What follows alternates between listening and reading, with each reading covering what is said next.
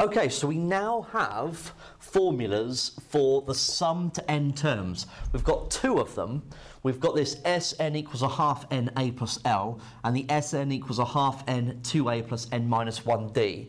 Now the reason why we've got two is because in some cases we'll know the last term, and in some cases we won't. Okay, so if you know the last term, then that first uh, equation, this first formula rather, um, will be easier to use. But if you don't, and you just know the first term, the common difference, and how many terms there should be in the sequence, then the second uh, formula will work.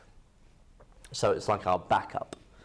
So number one, 3 plus 7 plus 11 plus all the way up to 267. We know the first term, we know the last term. So um, the th only thing is we don't know how many terms there are. Okay.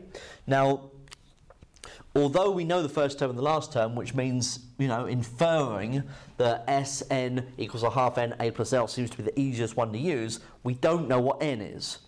So if we don't know what n is, that means we've got to work it out. Okay? So, what do we know? Well, seeing as we know the first term is 3, we also know that the common difference is 4, because we're going up in 4s.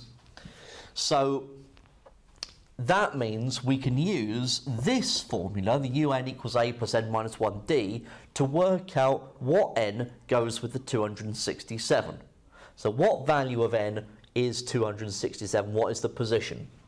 So 267 is equal to a plus n minus 1 times d. So if I get 267, take away the 3, divide by the 4, then add the 1, I can find that n must be 67. So there are 67 terms in this series. So that means I now have enough information. Now, seeing as I've got A, D, and N, I could substitute into the second formula. I'm, all, I'm going to substitute into the first one because I know that L is 267, the last term. So S, 67, the sum to the 67 terms, is 1 half times N, 67, times by A, 3, plus L 267. So half times 67 times 3 plus 267 makes 9,045. Okay, so that is the answer to number one. Right. Now for number two, we've got 5 plus 8 plus 11 plus dot dot dot for 360 terms. So now we have A, which is 5. We know N is 360. We know D is going to be 3, going up in threes. We don't know what L is.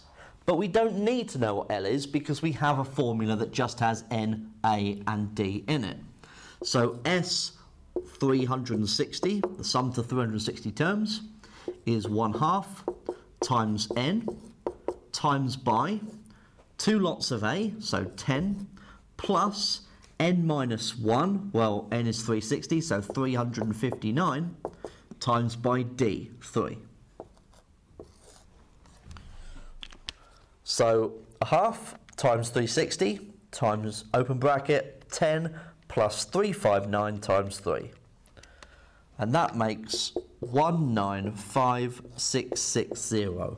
So 195,660. Okay? And that's the answer to number two.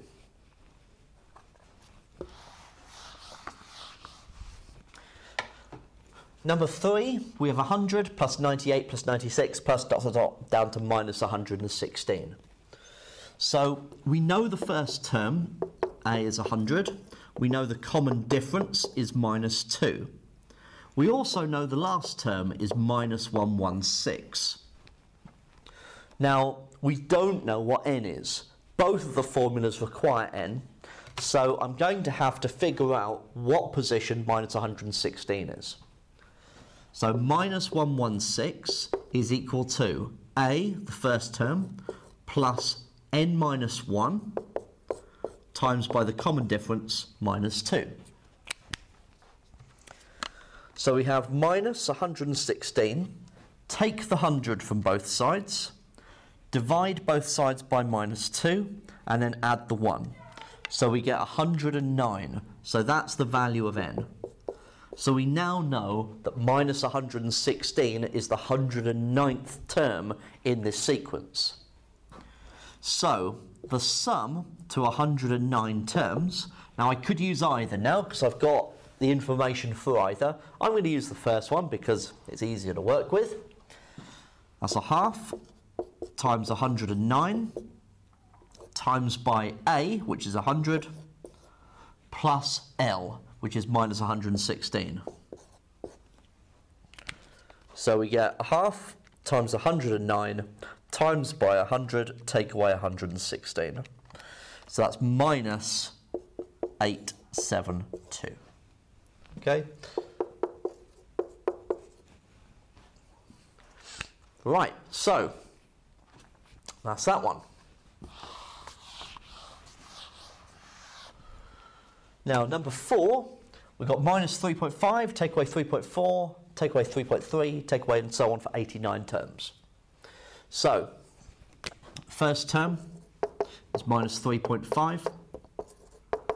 Common difference is 0.1, so adding on 0.1 each time. We've got n as 89. So I don't need to work out what the last term was, I can go straight into using the second formula.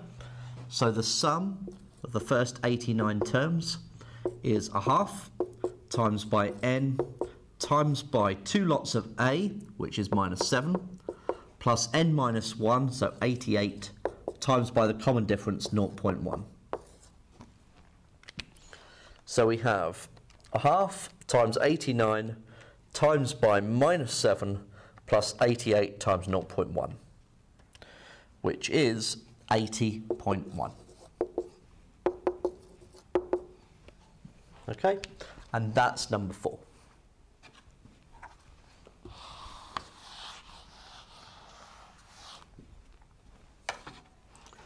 Now, number five and number six, they're both in sigma notation. So we should understand what these represent. Now, let's see what we can find. First of all, we're going to need A, the first term. So A is when n is 1. So 38, take away 4 lots of 1, so that's 34. Now the common difference, because this is the nth term, 38 minus 4n, that means we're subtracting 4 each time. So D is minus 4. Now, what is n? Well, we're going from the first term up to the 50th term, and so that will be 50 terms. So, from that, we have enough information to figure out what this is, okay, to evaluate it. Now, we could have found L as well by finding the last term, by substituting 50 into this. That gives us the last term. I'm going to run with that information. Well, I've just used that formula, haven't I? So I'll, I'll use the uh, half n a plus L. Let's find L. Let's go for it. So L is substituting 50 into this, 38, take away 4 lots of 50. So minus 162. So this is equal to um, a half n, so 1 half times 50 times A plus L. So 1 half times 50 times by 34, take away 162, which is minus 3,200. And seeing as we have the sigma notation on our calculator, it would be a good idea to check that you get the same result. Okay, which you should do. Okay, so that's number five. So finally, number six, We've got 0.2n plus 1.3 from n is 16 up to 157. Now, a is when n is 16. So 0.2 times 16 plus 1.3 is 9 halves, so 4.5. Now the common difference is what's in front of the n here, so the 0.2.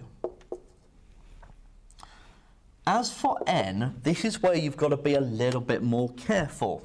Okay, the actual number of terms, because it's not 157 terms, because we're going for the 16th term up to the 157th. And the thing is, it's not just 157 take away 16. Okay, what you've got to think about is you've got 157 down to the 16th term, but the 16th one is included. So really, you need to subtract 15. So when we did this, you don't do 50 take away 1 and say, right, there's 49 terms. Okay, that doesn't make any sense. We're going from the first term up to the 50th term. Clearly, there are 50 terms. So when you do this, it's 157 take away 15, not take away 16, because the 16 is included. So we actually get 142 for n. And so we're now ready. So now I'm actually going to use the second formula. So a half n times by two lots of A, so that's 9, plus n minus 1, so 141, times by the common difference 0.2.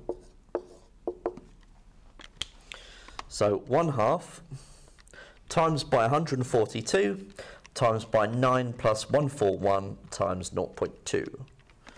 And that gets me 2,641.2. Okay, and quickly check that using your sigma notation on your calculator. Okay, so 16 up to 157. And yes, 2641.2. Okay, so this is how you work with these new sum to n formulas.